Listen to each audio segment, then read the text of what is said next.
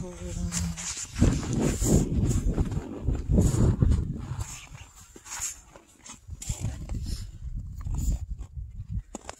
this is Pam Schreiber from Eight Mile Creek Farm. This is Trooper, our Murray Grey Bull. Um, uh, I have owned and operated Eight Mile Creek Farm now for 20 years. Um, we're a diversified organic farm and we produce certified organic uh, produce, a wide variety of produce, chicken, eggs, meat, um, dairy, herbs, cut flowers, turkey, and lamb. And uh, we uh, wanted to do a little program for you um, about a day in the life of a farmer. And we're starting here in January, which is January 1st, and talk about what it's like to be a farmer for your livelihood.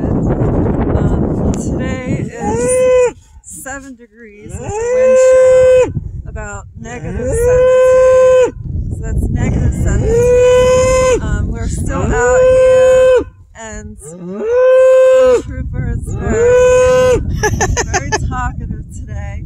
We're still out here regardless of the weather. It's a Sunday. We're still out here sun, on a Sunday.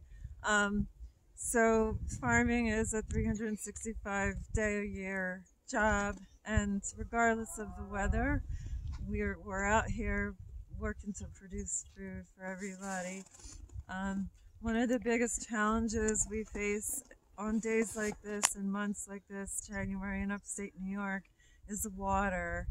Water becomes an issue because it's so cold it will actually freeze before the animals can drink it. We do have some stock tanks that are heated um, with water heaters. Typically, a 100 gallon stock tank uh, to heat that with a water heater is about $45 a month to heat. Well, well, that doesn't seem so bad if you have 10 stock tanks that you're heating. That can easily run $450 a month just to heat the stock tanks. So it's very hard to um, incorporate that into your expenses when you have many other expenses. So what we end up doing is heating some um, and others we end up breaking the ice on or we truck water. We fill water, big water totes, um, which are about 100 gallons, and bring them over to fill water, uh, water uh, troughs and buckets and and things like that. Um, the smaller animals we do keep in the barn, the chickens and some of the smaller calves we keep in the barn. But the larger animals, such as um, there's some cows over there at the feeder, um, and Trooper is still here watching us. Um, but we, um, they're outside. The best way to keep the larger animals warm in these colder months is to provide them with a large amount of hay. When the animals digest the hay, it, it creates a lot of body heat, and that's how they keep themselves warm.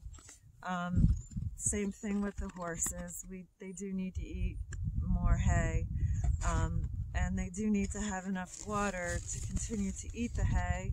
Um, we provide them salt, which helps them drink enough water so that they'll keep eating enough hay. Um, we do provide windbreaks, so most of the fields that the that the animals are in have some kind of a windbreak, whether it be bushes or trees, um, or barns that they can go stand up against to, to keep warm from the wind. Um,